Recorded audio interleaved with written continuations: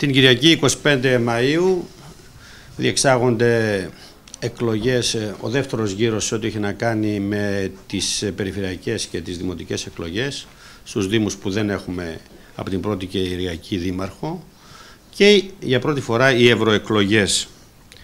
Ε, τα εκλογικά συνεργεία τα οποία έχουμε συστήσει και είμαστε υπεύθυνοι και αρμόδιοι για αυτό εργάζονται πυρετοδός έτσι ώστε το εκλογικό υλικό, τα ψηφοδέλτια να φτάσουν εγκαίρως στα εκλογικά τμήματα. Αύριο το μεσημέρι θα, θα πάρουν οι εκπρόσωποι των Δήμων ε, οι οποίοι μετά θα τα προωθήσουν ε, στα εκλογικά τμήματα των Δήμων τους έτσι ώστε 7 η ώρα το πρωί της Κυριακής να είναι όλα έτοιμα ε, για, να γίνει, για να γίνουν εκλογές. Την Παρασκευή και μετά δίνουν τα διαπιστευτήριά τους εδώ οι, οι δικαστικοί αντιπρόσωποι.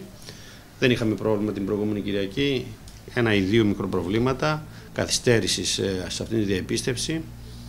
Ε, είμαστε έτοιμοι καθόλου δηλαδή για να διεξαχθούν οι εκλογές ε, με τον τρόπο που πρέπει.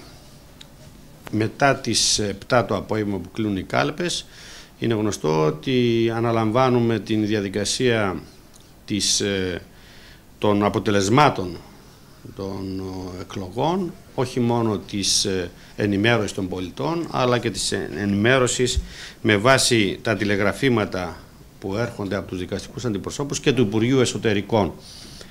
Ε, είμαι σίγουρος με τη δουλειά η οποία έχει γίνει και με την εμπειρία την οποία διαθέτουν οι συνεργάτες μου οι υπάλληλοι εδώ της Περιφερειακής Νότας Δράμας ότι δεν θα υπάρχει κανένα πρόβλημα στην διεξαγωγή των εκλογών και αυτή της Κυριακής, όπως δεν υπήρξε σημαντικό πρόβλημα, δεν υπήρξαν σημαντικά προβλήματα την Κυριακή που μας πέρασε.